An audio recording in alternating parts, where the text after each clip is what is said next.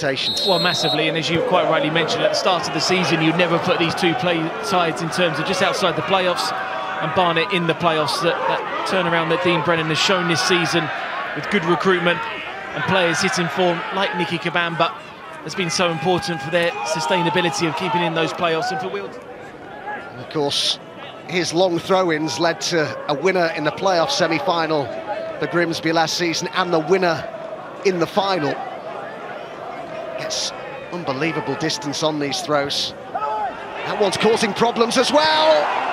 And the early attempt from Dan Powell just didn't really get hold of it, did he? Yeah, he didn't, did he? It just kind of came to him there nicely. I think he's been a little bit too conservative with the strike. I think he's just more looking for contact, but then maybe just misjudged the flight slightly. like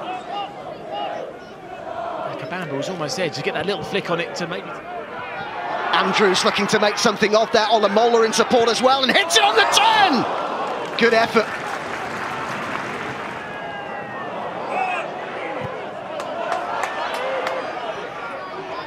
Kanu. Seems to get pushed out of play there. Will it be de Havilland or Gorman here?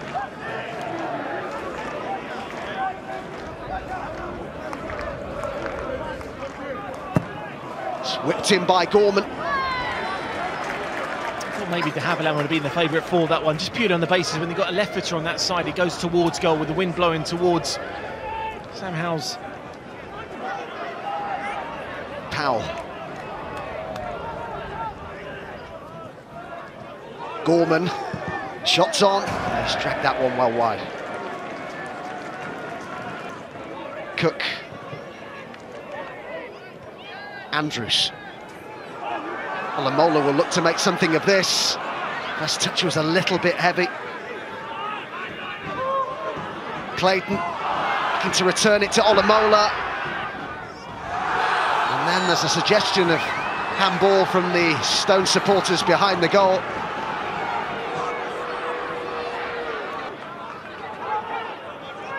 Simper a bad effort, he was dipping all the time, and off the bar it came.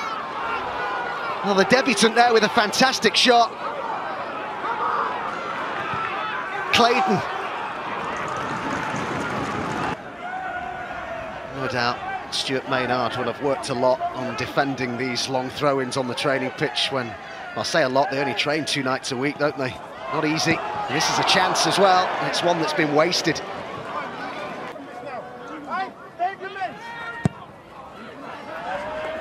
The goalkeeper got something on it and it just about stayed out. It's a really good ball in there. Pritchard trying to still get it into the six-yard box. Gorman with another ball into the area and the keeper claims that one confidently. Fernandez, 21 years old. Let's see what he can do. Here's Kabamba. Kanu to his right. Still Nicke Kabamba. He's worked the room for the shot brilliantly.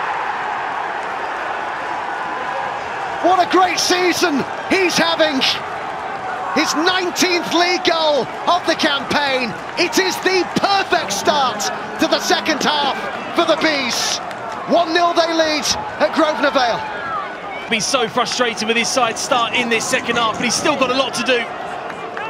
Shrugs off the challenge, and that little touch inside creates the angle for him to go across the goalkeeper. Just barges Barker out the way. He uses his strength. But it's this touch here, that one there, just to cut inside nicely and then hit across it. So many times you go to the right-hand side of the goal, he decides to go to the left-hand side. Massive goal at the start of this second half. They began today eight points above Wealdstone. We're just outside the playoff places. They could increase that gap to 11 points. Gorman with the ball in.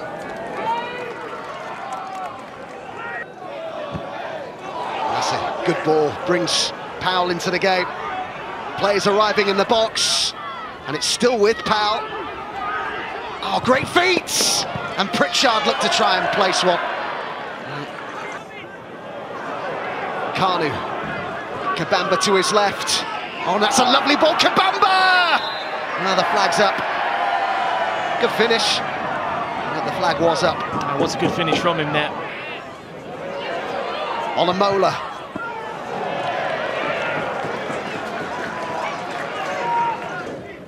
Just a bit of pressure here from the Stones. Simpers ball over. De Havilland certainly placed it with purpose, placed with intent. Sam Howes on guard. It is De Havilland, and he forced the save from House, who got down quickly. Cropper with the long throw-in. Came off Gorman and Cook kicked in air and then it's turned in. Pritchard. Barnet find themselves with two goals. Just see on the edge of the box, Claydon is beaten in the air and they just manage to keep it alive. Cook doesn't quite get to the second challenge. Gorman on the edge of the box there reacting, wins that header, that keeps it going. It's a tidy finish there from Pritchard. It goes through Barker's legs into that bottom corner. He's a player who started every one of their games this season, Pritchard. And on Derby Day, the Bees, two goals to the good. Is a massive achievement from them, considering the clubs they're going to probably end up finishing above. We've heaped praise on them throughout this game and probably haven't just seen the best of them, which I think they'll be slightly disappointed about. But I have to say for Barnet, Adam, and I think the more pleasing thing for them is keeping that clean sheet and just winning uglies, just sometimes finding a way of winning, especially away from home.